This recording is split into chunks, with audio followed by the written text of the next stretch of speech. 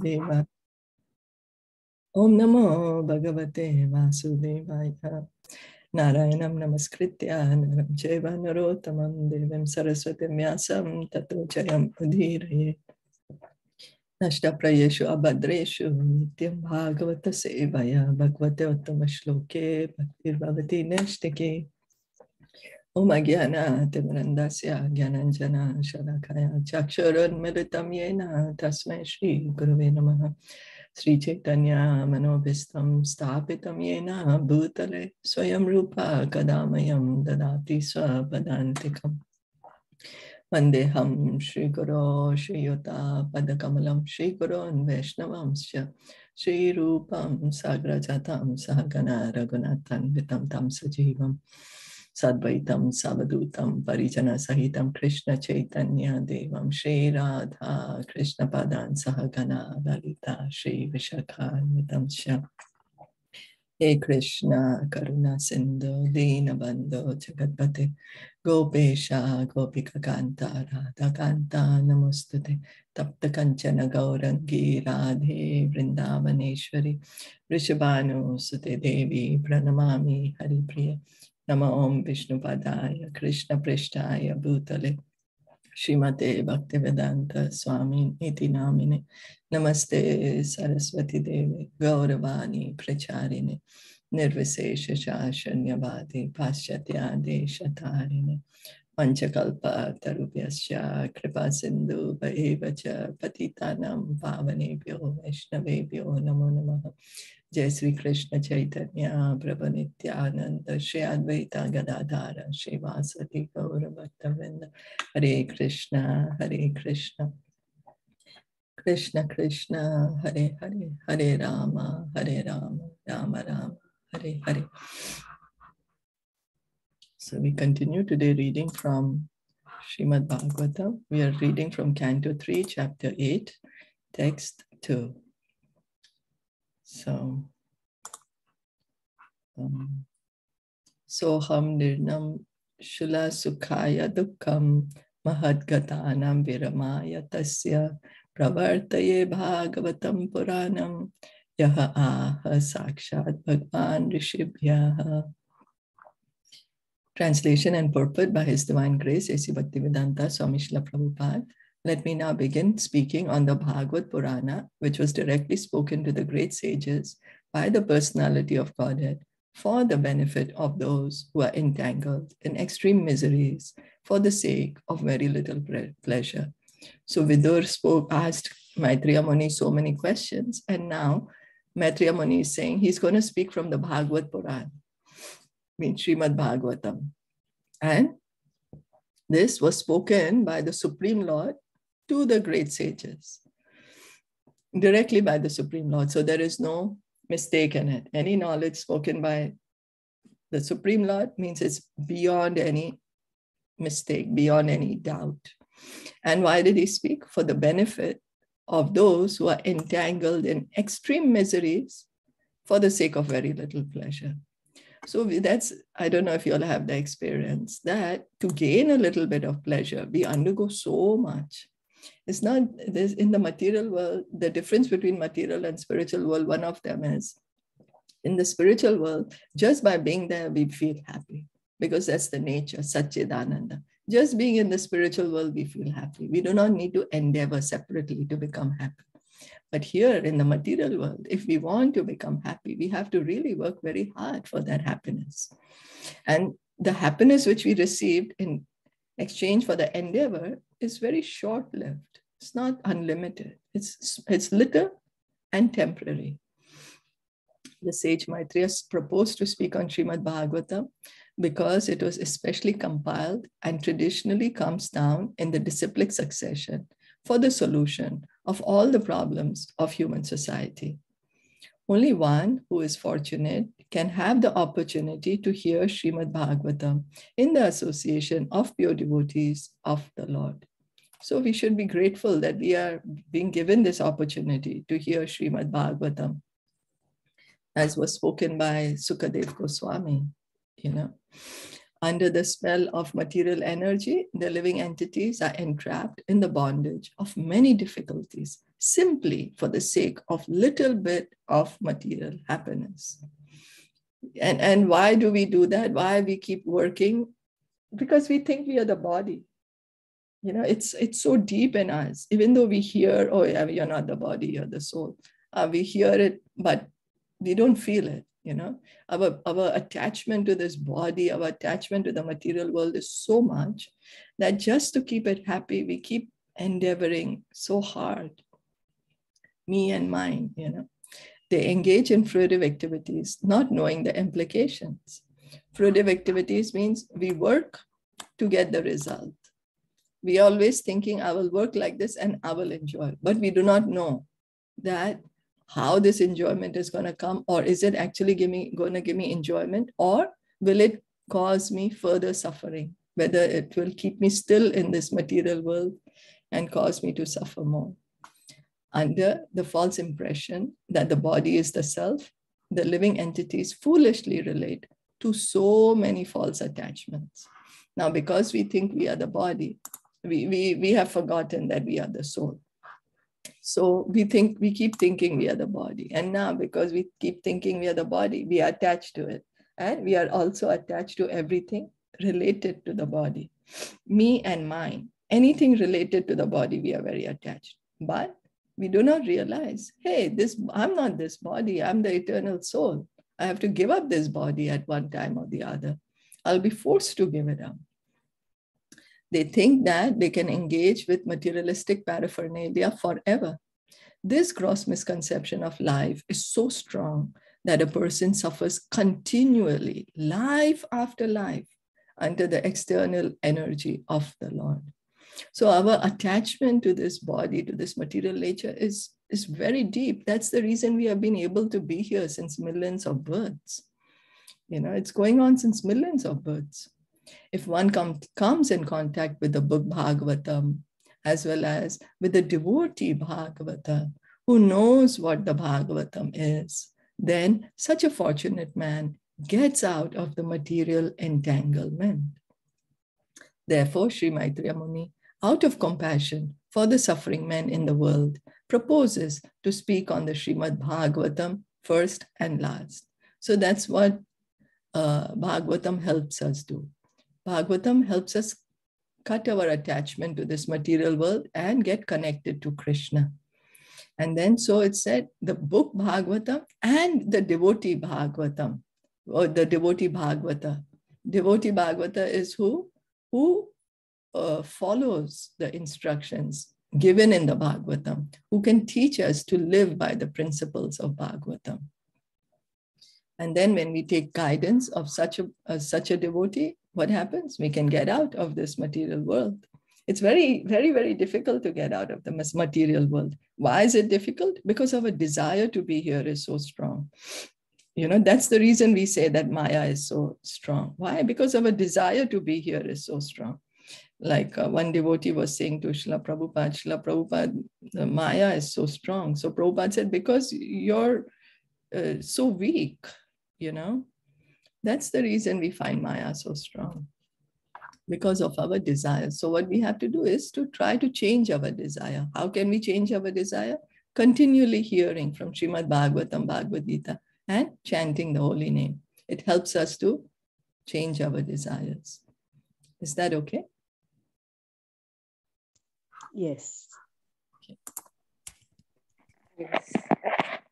But changing our desire is not that easy, right?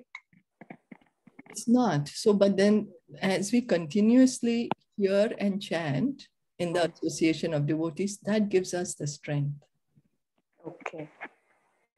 Yeah, uh, like we can see before we heard and chanted in, in association of devotees, we didn't have even one desire to mm. hear about Krishna. But gradually, gradually, at least that sometimes that desire comes, you know. So and prayers also equally powerful? Oh, yes, prayers are very powerful. Prayers are very powerful. That's our, our conversation with Krishna. Okay. Yeah. So, and uh, okay. desiring the mercy of the devotees to help us. Mm. Yeah. Desire to, like, I can't do it, Krishna. I can't do it by myself. I need help. I'm so attached to this material world. Please cut my attachment to this material world. Please pick me up from my and place me as a particle of dust at your lotus feet. So, yeah, prayers are very, very powerful. So, reading on text 3. Ashinam urvayam bhagavantamadhyam sankarshanam devam akuntha sattvam vivitasvastatvam ata parasya kumara mukhya munayo anvaprachan.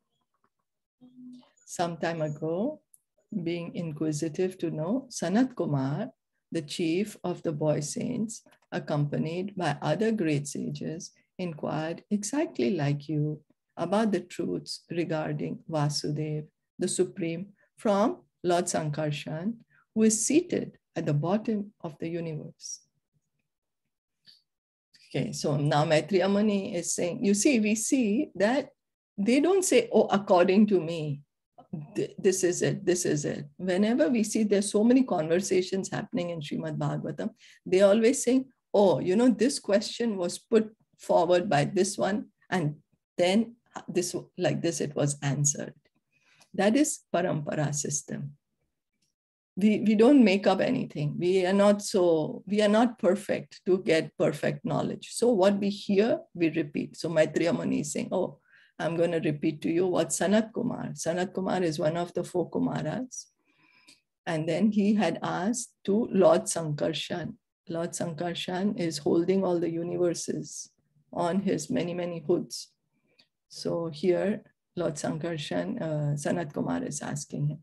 This is in clarification of the statement that the Lord spoke directly on the Srimad Bhagavatam. When and unto whom the Bhagavatam was spoken is explained herewith. Questions similar to those put forward by Vidur were asked by great sages like Sanat Kumar and Lord Sankarshan. The plenary expansion of the Supreme Lord Vasudev answered them. So perfect knowledge has to come from the Lord. Then it's perfect. And then the re- devotees repeat what they have heard. You know, they repeat. So it is perfect knowledge. And so we should follow, we should with full faith, with firm faith, accept this knowledge, try to understand this knowledge. You know, because in our experience in the material world, we get so cheated. Our experiences, oh, if I put faith in this, I get cheated so many times. And it's not only in this life, it's very deeply embedded in our subconsciousness. It's a samskar coming from many millions of births. So, so we are doubtful, even when we are hearing from the correct source you know, because of our past experiences of being cheated. But somehow or the other, we should muster that great faith that this is bona fide. So I should put my full faith in this. I should put my full faith. Okay, reading on. Could text four. Explain about Lord San- Sankarshan. I'm sorry? Lord Sankarshan. Yes. Means, could you describe?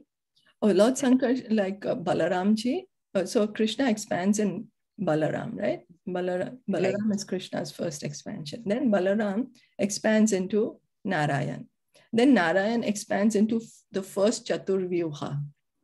Chaturvyuha expansions are Vasudev, Sankarshan, Anirudh, and Pradyumna. So they are all Vishnu forms. And it's just the different placement of how they are holding the conch, the gada, the chakra, and the lotus flower then these again expand into um, Sankarshan, Vasudev, Pradyumna, and Anirudh. They are all Vishnu forms, actually. Right. Yeah. I think Neha had sent, correct? Yeah. Last time, the tree, how it is expanded. Ah, okay. Yeah. Okay. Right. Right. Now I click. Okay. So, so they are Vishnu forms and Lord Sankarshan is actually a Vishnu form of Balaramji. All the expansions actually come from Lord Balaram. You know, until unless, of course, it's Krishna himself expanding for the gopis. Then that's his own expansion. But all the other um, expansions for, for Vaikuntha, for, uh, for the material world. Everything, all expansions come from Lord Balaram. He's the Supreme Lord also. And so Sankarshan is one of his expansions. Okay. Okay. Eva dishnyam bahumanayantam yadvasudevabhidam amananti pratyagdritakshambhujakosham unmilayantam vibudhodayaya. At that time, Lord Sankarshan was meditating upon his Supreme Lord whom the learned esteem as Lord Vasudev. But for the sake of the advancement of the great learned sages, he slightly opened his lotus like eyes and began to speak. So Lord Sankarsana is meditating on the Supreme Lord Vasudeva, on Krishna, Supreme Personality of God. Text 5. Swardhoni udare swajata kalape upash prashantas charano padhanam Padmam yad archanti ahiraja kanya saprema nana bali vararthaha.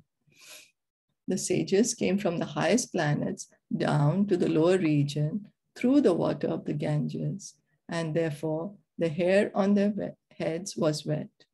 They touched the lotus feet of the Lord, which are worshipped with various paraphernalia by the daughters of the serpent king when they desire good husbands.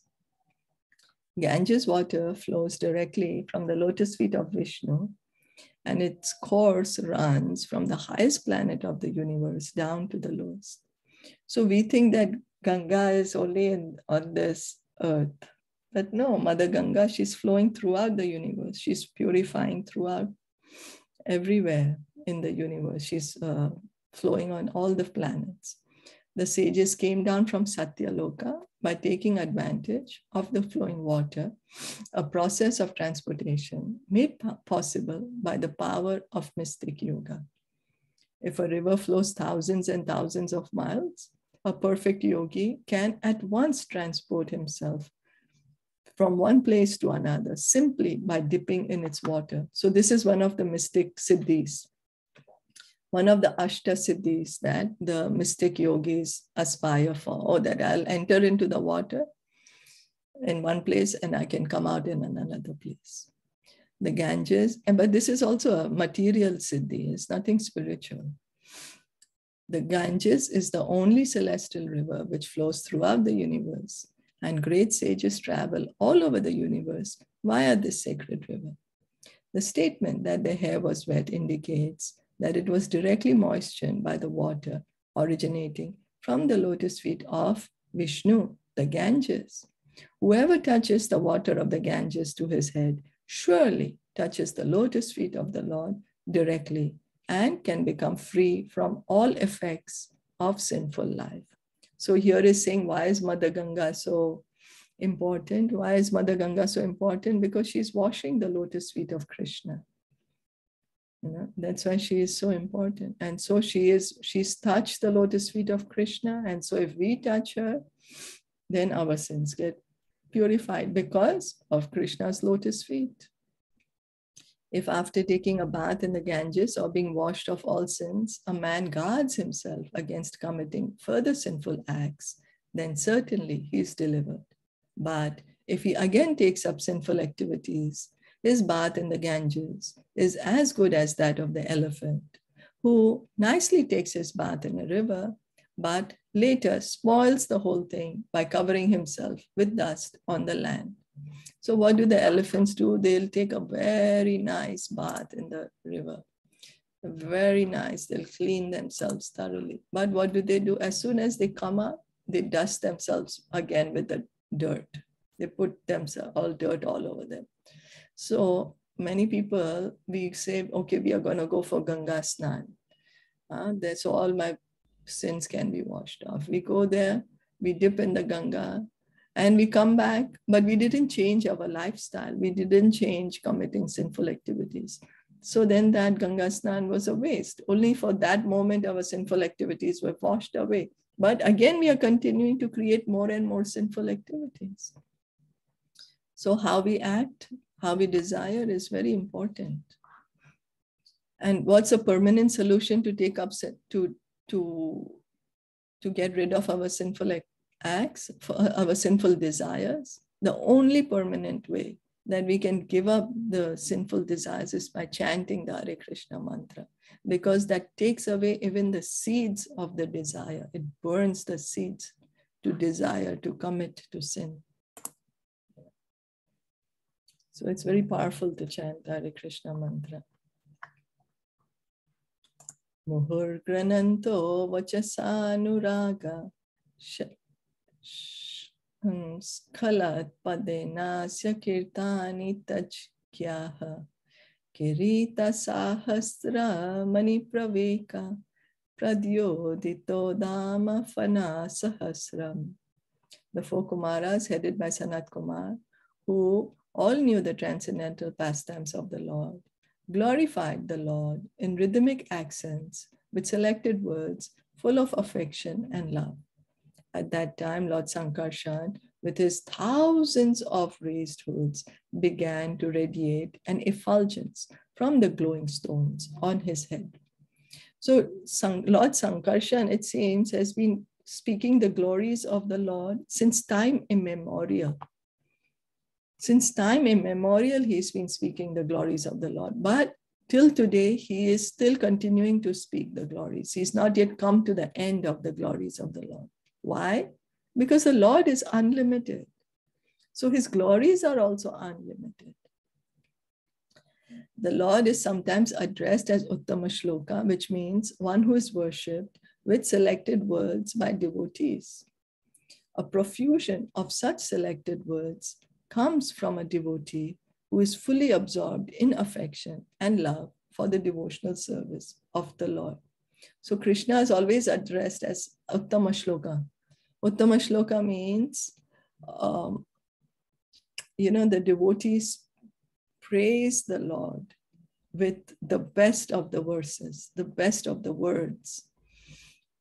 And so, so this, the, the glorification of the devotee, uh, I'm sorry, the glorification of the Lord by the devotee, they are Uttama Shloka. Uttam means best, you know, the best of the words. There are many instances in which even a small boy who was a great devotee of the Lord could offer excellent prayers in the choicest words for glorification of the pastimes of the Lord. In other words, without the development of fine affection and love, one cannot offer prayers to the Lord very suitably. So, the pure devotees, that's the reason we are always encouraged to hear about the prayers of the pure devotees, uh, the bhajan and the kirtan, which are sung by the pure devotees, and not by just um, ordinary uh, people who the words might sound the same, but the mood, the mood is very different. That is important.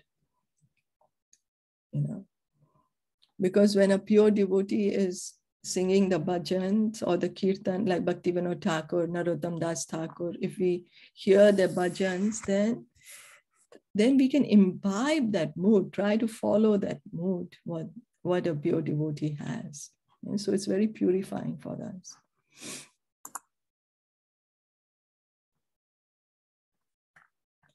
Text 7. Proktam kilaitad bhagavatamena nivritti dharma dharmabhiratayatena sanatkumaraya cha sachaha prishtaha sankhya yana Yanga Drita Vritaya.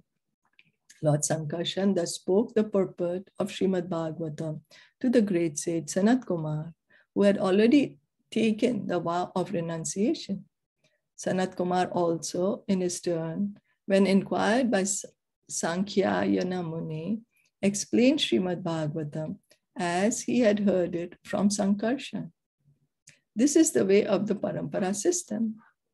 Although Sanat Kumar, the well known great saintly Kumar, was in the perfect stage of life. He still heard the message of Srimad Bhagavatam from Lord Sankarshan. Similarly, when he was questioned by Sankhya Rishi, he spoke to him the same message he had heard from Lord Sankarshan. In other words, unless one hears from the proper authority, one cannot become a preacher. In devotional service, therefore, two items out of the nine, namely hearing and chanting, are most important. Without hearing nicely, one cannot preach the message of Vedic knowledge. So we, we need to hear, hear attentively, uh, hear submissively, hear from the pure devotee. And then we can also chant. Once we have, we, as we keep hearing, we keep hearing, then we will keep glorifying also. Auto, it will happen automatically. We hear, we hear, we hear, and then one day we will be able to speak also. You know, we can't speak till the time we've not heard enough. So we need to hear. So,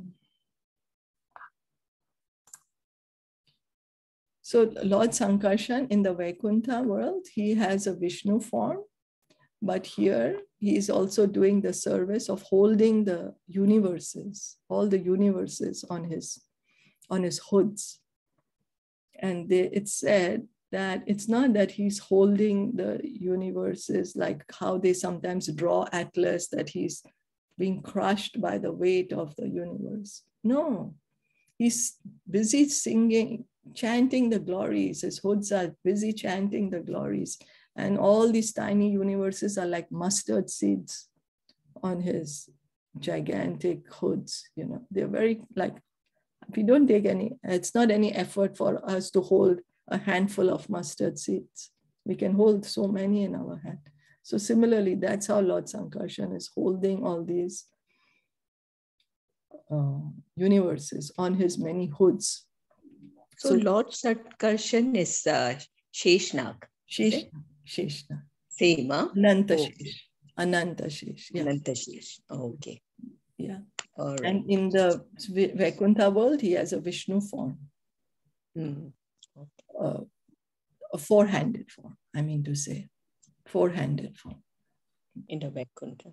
But in the material world, he it was in the form of. Okay. Okay Anant Shesh okay सांख्याय अनंत शेष या सांख्याय नः पार पार पार महंसया मुख्यो, विवेक्षमानो भगवत विभूति। जगादसो अस्मद् गुरुवे अन्विताय, परसार parasharayatha brahaspatescha. The great sage Sankhyaayana was the chief amongst the transcendentalists when he was describing the glories of the Lord in terms of Srimad Bhagavatam it so happened that my spiritual master, Parasara and Brihaspati, both heard him. Oh, also, now Maitreya Muni is saying, How did he hear Srimad Bhagavatam? So he's saying when uh, Sanat Kumar heard it from Lord Sankarshan, then Sanat Kumar repeated it to Sankhyaayana. And when Sankhyaayana was repeating this glories of the Lord, then Maitreya Muni's spiritual master Parasara Muni was there, and Brihaspati was there also. So this is the way we receive transcendental knowledge. We hear in the parampara. This is giving the importance and importance of hearing in parampara and how these pure devotees who are repeating the transcendental knowledge, how they have heard it in the parampara from their spiritual master. So, any questions or comments? Anything to add?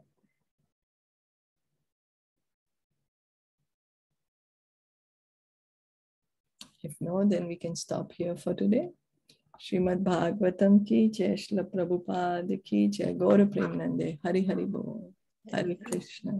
Hare Krishna.